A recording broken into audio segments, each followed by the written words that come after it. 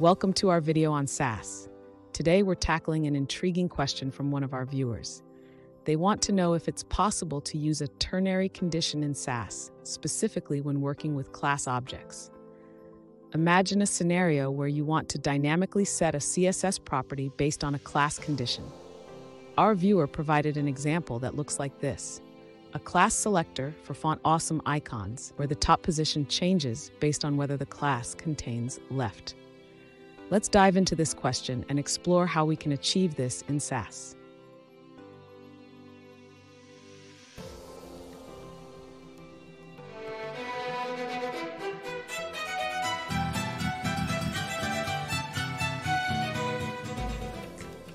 Welcome back to another technical video. Today, we'll be going through your questions, answering them, and hopefully finding that solution you need. Guys, remember to stay just a little bit crazy, just like me, and hopefully you'll find that solution you're looking for. Now, let's continue on to the video. In Sass, we can use conditional logic to apply styles based on certain conditions.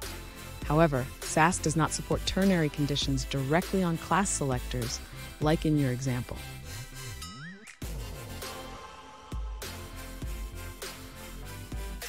Instead, we can achieve similar functionality using mixins or functions. Let's create a mixin that takes a condition and applies styles accordingly.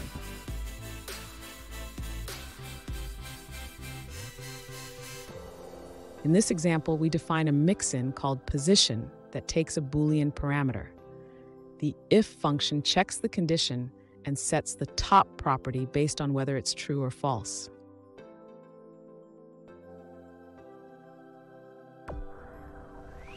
Now, you can use this mixin in your class definitions.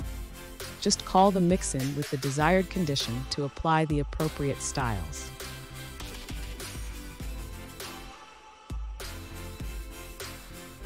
In summary, while you can't use a ternary condition directly in class selectors in Sass, you can effectively use mixins and the if function to achieve similar results.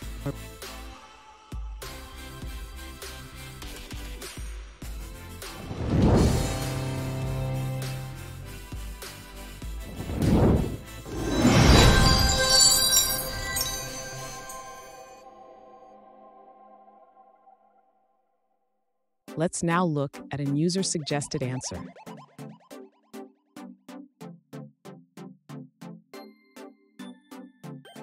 Yes, you can use a ternary condition in Sass. If you set the variable caret top, it will use that value. If not, it defaults to top 45.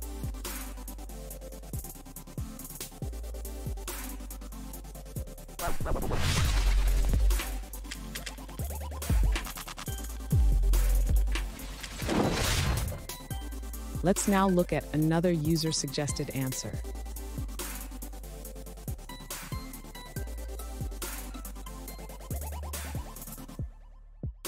In Sass, you don't need to match by class attribute selector. Instead, you can use a loop with interpolation to create your classes.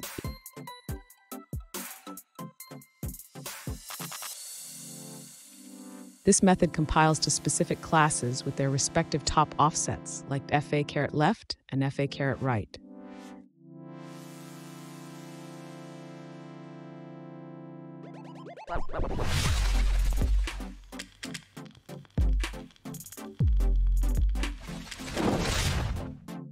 Let's now look at another user-suggested answer.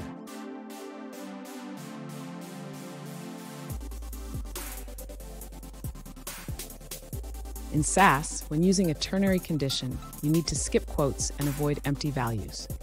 For an empty string, use parentheses instead.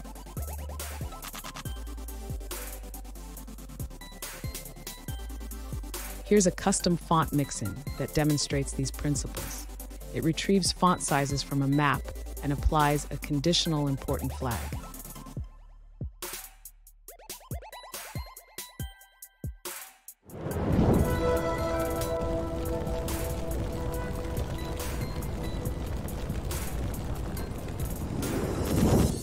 Let's now look at another user-suggested answer.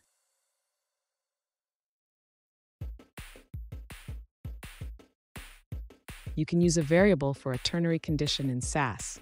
For example, set a position variable and use it to determine the top value based on its state.